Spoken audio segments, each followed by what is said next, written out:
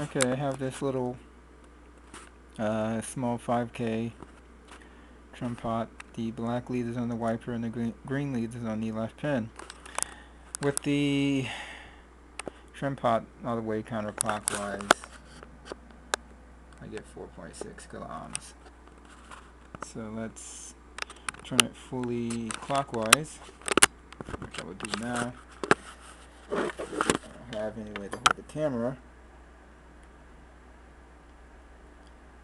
So you get halfway up there, about a fourth of a turn, and this is what the reading is fully clockwise.